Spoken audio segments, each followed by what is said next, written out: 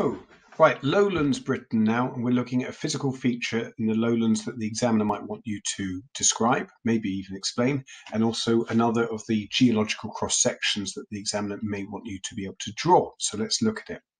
This is the feature we're looking at. It's basically a chalk hill that goes up steeply one side and down less steeply on the other side. The steep side here, we've got a white horse on. I think it's the Westbury White Horse. Um, and the other side sort of gently dips away. So it can be drawn like this. You've got the steep side called a scarp slope. It is an escarpment. And then you've got the dip slope sloping off. Okay.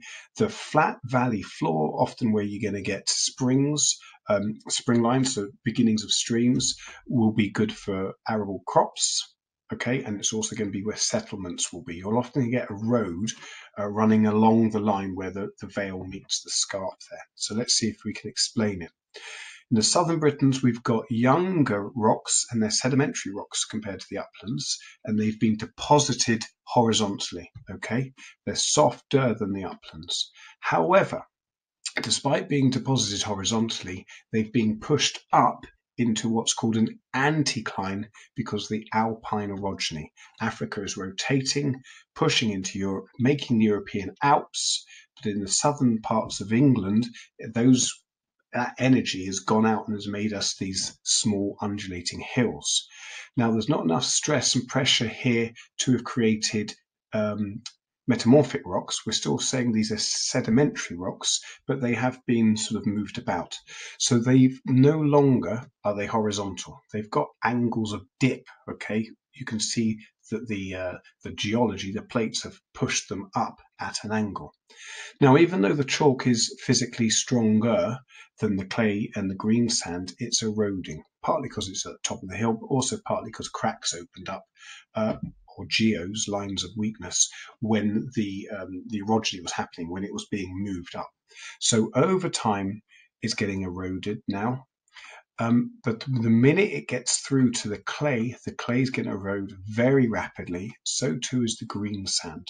Okay, so coming up is one of those classic cross sections they might ask you to draw. This is a geological cross section of an anticline.